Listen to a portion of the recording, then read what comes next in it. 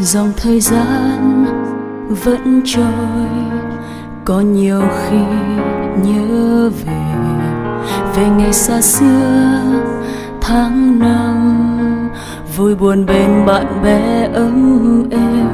Dường như ghế đá, sân trường vẫn còn in dấu vết.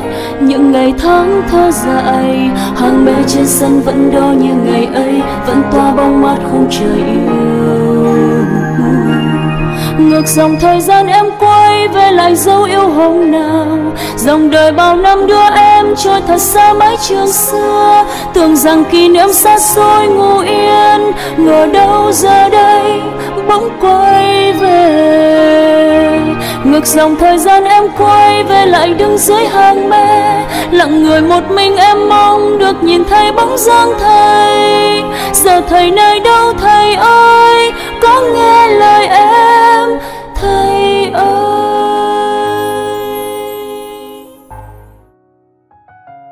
Sau này, khi đã trở thành một nhà dạy nhạc nổi tiếng, báo chí gọi thầy ca là người sống sót sau thời kỳ khủng bố diệt chủng của phát xít Đức. Khi 16 tuổi, thầy có những trải nghiệm hoàn toàn khác, từng bị bắn, bị đâm và bị bỏ đói. Thầy đã bỏ trốn khỏi quê hương Ukraine hai lần. Đất nước của thầy bị ba phe đối lập chiếm đóng. Cha đẻ cũng như cha dượng của thầy đều bị bỏ tù. Thầy gia nhập đội quân du kích Ukraine và từng suýt bị giết chết.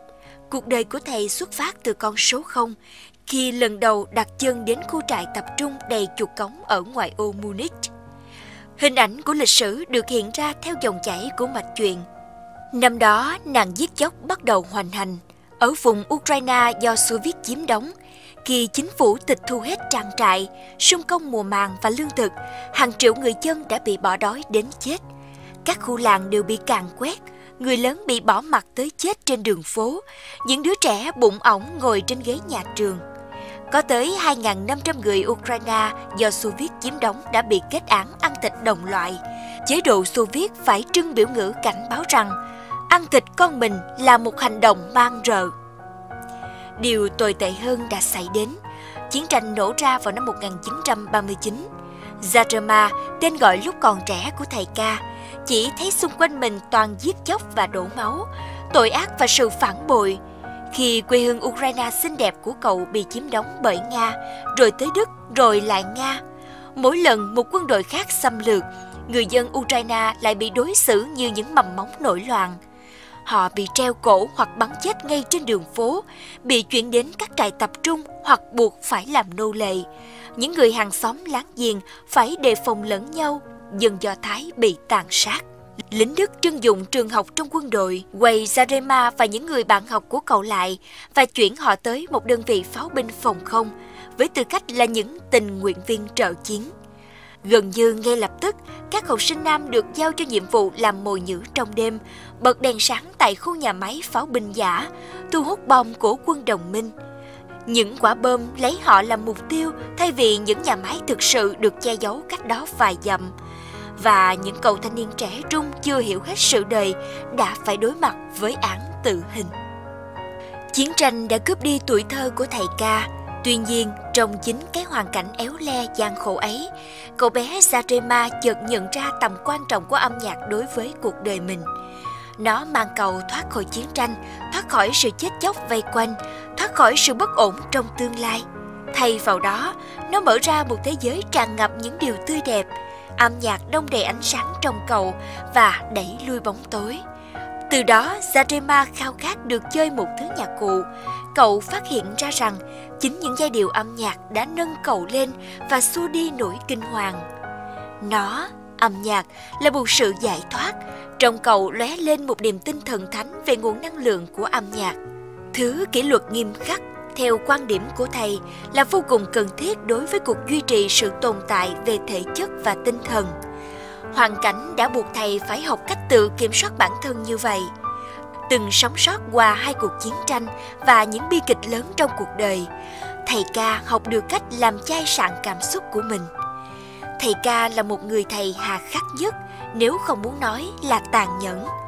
Nếu dạy học ở thời điểm hiện tại, thầy hẳn sẽ chẳng có lấy một cơ hội, không có lấy một đứa học trò. Lý do đơn giản là chẳng có một phụ huynh nào đồng ý hay cho phép thầy gọi con cái của họ là đồ điếc hoặc đồ đần độn cả.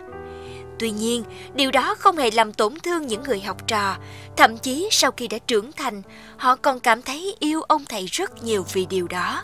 Người đàn ông in đậm trong tâm trí tôi là một người khổng lồ đáng sợ. Lúc nào tôi cũng nhớ tới ông với một cây gậy chỉ huy hoặc cây bút chì cùng nắm chặt trong tay. Trong trí nhớ của tôi, ông có chất giọng cao, bùng nổ với một vóc dáng lừng lững đến mức che hết cả ánh nắng chiều chiếu vào căn phòng qua khung cửa sổ.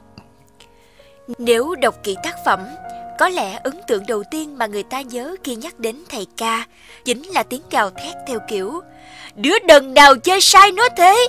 Làm lại! Đừng chơi đàn như thể đang kéo một miếng vẽ bẩn ấy! Cái vẻ chẳng khác gì một cả trọng tài đang nổi điên lên của thầy ca luôn khiến cho những nhóc học sinh run rẩy và tự nhắc mình càng phải cố gắng nhiều hơn nữa. Và điều thật bất ngờ là cho dù thầy ca có hà khắc đến đâu, thì những người học trò từng đến với thầy trong suốt 22 năm giảng dạy đều không hề có suy nghĩ bỏ cuộc vì chán nản. Học với thầy ca có cảm giác như đang chơi cho đội Yankees. Bạn phải chấp nhận những thử thách kinh khủng và tồi tệ nhất, bởi vì nó mang lại cho bạn chức vô địch. Thầy ca rất nghiêm khắc khi ở trên bục chỉ huy, nhưng luôn tán thưởng học sinh của mình những lúc ông ngồi trên hàng ghế khán giả. Những lời động viên từ thầy như Em đã tập luyện chăm chỉ, em đã chuẩn bị rất tốt, thầy tự hào về con, không tệ. Chính là những động lực to lớn cho những đứa học trò còn chấp nhận bước tiếp trên con đường luyện tập gian khổ. Thầy ca chính là người đã mang món quà âm nhạc tới cho hàng trăm, nếu không phải hàng nghìn cuộc sống. Thầy ca dạy cho trò của mình về giá trị của luyện tập và bài học quan trọng nhất rằng trong âm nhạc, hạnh phúc thực sự chỉ có thể đạt được nhờ luyện tập hết mình. Công việc là một liều thuốc bổ, không có niềm hạnh phúc thực sự nếu không làm việc chăm chỉ. Tôi không thể, không còn đường quay lại nữa, chỉ có thể tiến lên mà thôi. Tôi liều mạng chơi. Ở những nốt nhạc đầu tiên, tôi cảm thấy như tất cả khán giả đều thấy các bắp thịt của tôi đang co rút dữ dội, cổ họng tôi khô khốc. Nhưng rất nhanh chóng, thầy ca quay trở lại với tôi, đẩy lùi mọi nỗi sợ hãi và giúp tim tôi đập chậm lại. Thầy tin tưởng rằng tôi có thể làm được, thầy chắc chắn điều đó, thầy đặt niềm tin ở tôi và tôi đã sẵn sàng. Cảm giác đó là một loại tàu lượn siêu tốc tuyệt vời, không phải loại bất ngờ đẩy những đứa trẻ xuống lòng đại dương. Đó là cảm giác của sự luyện tập vất vả, nhưng nó cũng thật vui. Phương pháp dạy nhạc của thầy ca thật đặc biệt, chính trong sự khắc khe ấy là nghệ thuật hoàn thiện con người. Thầy đã dạy cho những người học trò không được phép nói từ không có khả năng, Bài học từ thầy ca là không để cho người khác nói rằng mình không thể làm được điều gì đó. Ông thúc ép học sinh của mình phải luyện đàn chăm chỉ, nhưng ta có thể cảm nhận rằng ông cũng rất tin tưởng ở những người học trò của mình. Ông ép mọi người làm được tốt hơn những điều họ nghĩ.